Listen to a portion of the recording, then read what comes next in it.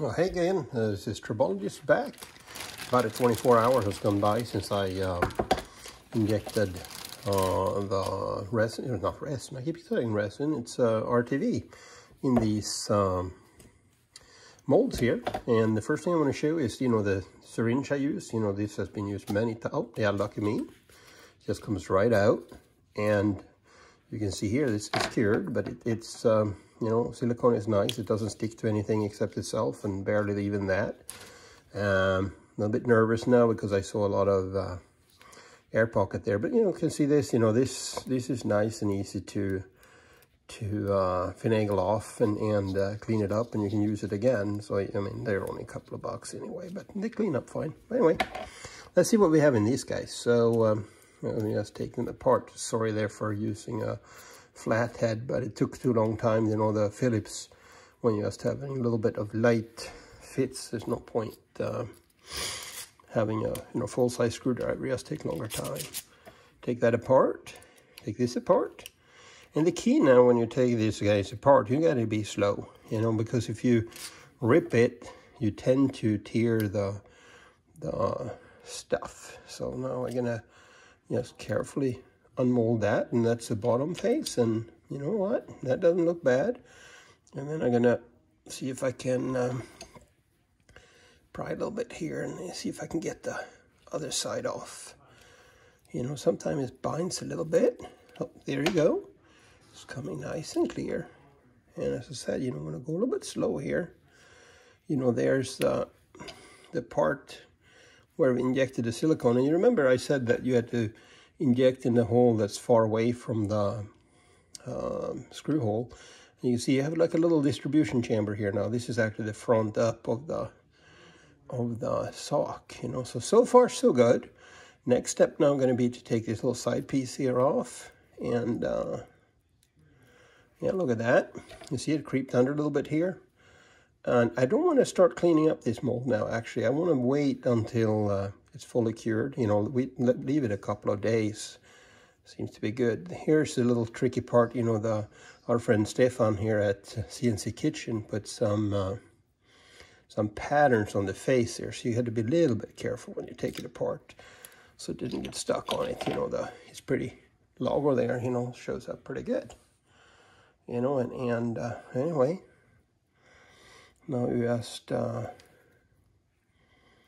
you know, carefully loosen these up, you know, and, and uh, work yourself around the sock and it's there, you know, you see, no mess, you know, I mean, yeah, a little bit stuck there, but that's it, you know, it's a nice clean sock, you know, I can uh, clean this up later on, but you're better off maybe waiting, but I can take a little chance here, but you know, it doesn't matter, you know, it, it's, uh, it cleans up.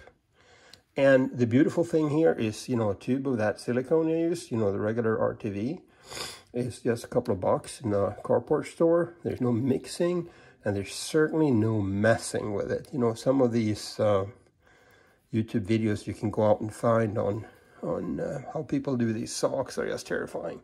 I mean, they make an absolute mess and kneading and trying to stuff the the silicone into the to the mold and, and um, then closing it up. I mean, there's no way to do that without making a, you know, radical disaster in your kitchen, you know, and you saw, you know, when I injected it here, it's just a matter of putting a little bit of silicone in the syringe, pour some water in it, fold in the water, and uh, there you go. A nice, pretty sock. Thank you so much, Stefan, for for doing that. And, and I recommend everyone to go and look at uh, CNC Kitchen's um, original video. I'm going to try to put a link in and uh, take a look on how this mold was designed. I think it's, you know, it's a perfect mold for the E3D, uh, yeah, E3D V6.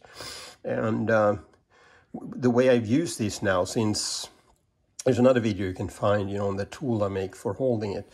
I, you know, here's where the screw goes for the um, heater element goes in this hole. I normally put a regular cap screw here, you know, and not a, a button head, you know, a regular cylindrical head Allen screw in this hole. And um, then I have a tool that goes in here, grab the nozzle, and counterhold here. So I don't, you know, in Stefan's movie, he cuts these, you know, so he can get it on. But I normally put this on the block first. Then I insert the thermocouple and the, the heater. And to tighten up the thermocouple, you know, you can, it's so thin, right? So you can basically just punctures through here, you know, with your Allen screw, you know, Allen wrench. You can kind of feel where the hole is and you just puncture through the silicone, stick the Allen wrench through there and tighten up the the Allen that hold the thermocouple. Sorry, thermocouple, the, the RTD. Well, yeah, in my case RTD, but thermistor in most cases. And then the same thing here, you stick the the heater in and then you tighten up this screw, you know. So by doing that, you fully cover the block with um, with silicone, so you don't have any chance to get any silicone unless you do something stupid with, with your assembly.